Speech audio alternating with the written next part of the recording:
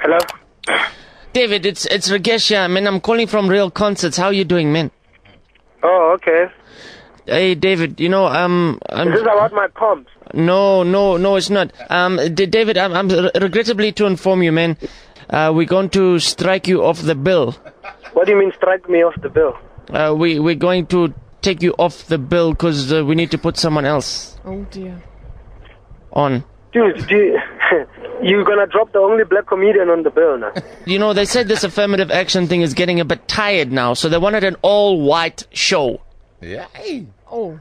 This is South Africa, man. Yes, yes. Do you know who I am, dude?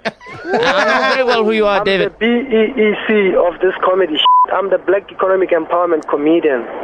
You're gonna drop me and replace me with who? This this new guy called Graham Joffe. Graham Joffrey. Who the f*** is Graham Joffrey? I mean, you know, David, because uh, the the word with Roddy was that you know you haven't been doing much new material, so it's not really a great loss. You Because gotta come up with new material all the f***ing time. Yes. okay, what's some like new jokes you got? I've got another joke, the one about the weather and, and the black guy who does the weather. Okay, run it by me. I go, you know, we never had black people doing the weather, you know. Graham Hart has been doing the weather ever since the state of emergency was declared. And then I say, but now we've got this black guy, Jabusi Tola, doing the weather. And then I do a whole thing, you know, with Jabusi Tola, like a nice impersonation of Jabusi Tola, you know. Hmm. Yeah, no, you see that that does- doesn't strike me too much as funny. I've heard Mark Banks do that. But thanks, that's the weather, the, the black man joke. Yeah, that whole thing. You know, that's my f***ing gag. no, you know, you know, David. If That's you, my f***ing new gag. you know, David, if you can't write material, don't steal, man. Oh No, dear. f*** you, I'm gonna hang up. Because you know, Graham Joffe's latest material, David. Uh, you know, he's got this new joke that he wrote. It's Look, dude, first of all, if my 50% cancellation is not in my bank account by the end of today, they must start looking for another venue for that show.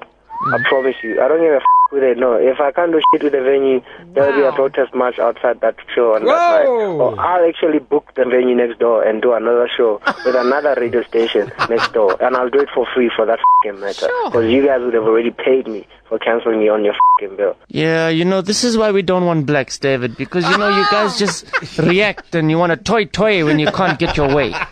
F- you. Graham Joffe's new joke. Okay, this is the kind of standard we're looking for. Okay, he said, okay, there, there, there's two cannibals. All right. Well, tell... What? There's two cannibals. Okay, they're both eating a clown. The one says to the other one, says, "Hey, does this clown taste funny to you?" Hey, you know what I'm saying? That that's comedy. You're kidding me. So you're gonna have what? Who, who, who you gonna? You're gonna have Riaad Moosa. You're gonna have John Vlismas. You're gonna have international comics. You're gonna have Mike Banks, and you're gonna have f***ing Graham Joffe. yes, and you're gonna have uh, Darren Whackhead Simpson, who you're talking to right now.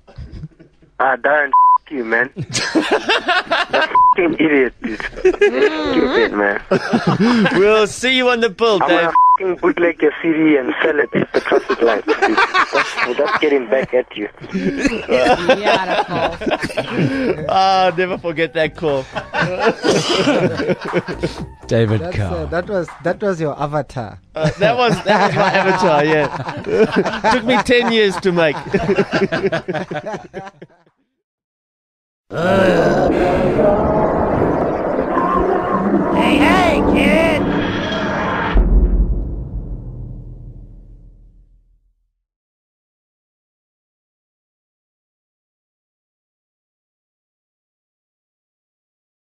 Ugh.